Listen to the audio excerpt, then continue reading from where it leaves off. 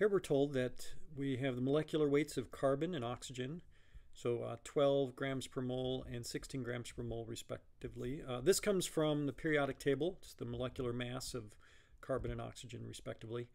And we're asked to find the specific volume in cubic meters per kilogram of carbon dioxide if its molar specific volume is 22.27 cubic meters per kilomole. So the first thing we're going to do on this problem is figure out the molecular weight of carbon dioxide. So we'll find the molecular weight of carbon dioxide.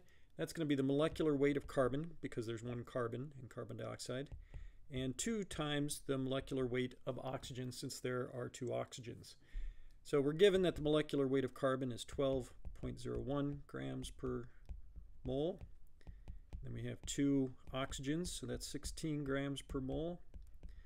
And then when you work out the numbers for that, that comes out to be 44.01 grams per mole. Or written another way, that'd be 44.1 kilograms per kilomole. Basically, we're just multiplying the numerator and denominator by 1,000 to give us kilograms per kilomole. And then define the specific volume in terms of cubic meters per kilogram. So converting it from, from the uh, 22.27 cubic meters per kilomole, what we're going to do is take this and divide it through by the molecular weight. So let me just show you that. So here's the specific volume.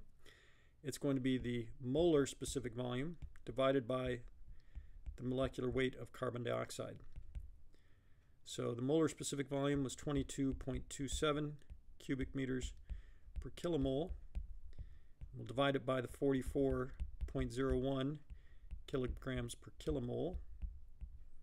You can see the kilomoles cancel one another out, and then when you work out the numbers, that comes out to be 0.506 cubic meters per kilogram.